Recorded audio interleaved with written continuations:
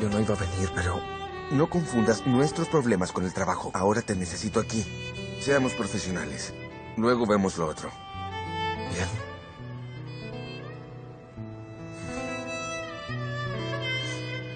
¿Cómo está Pinar? Señores, no me van a creer. ¿Qué? ¿Estás esperando mellizos, prima? No te burles. Tengo noticias geniales. El señor Turgut acaba de llamarme. Dijo que hacía la última oferta que le hicimos. Quiere volver a trabajar con nosotros.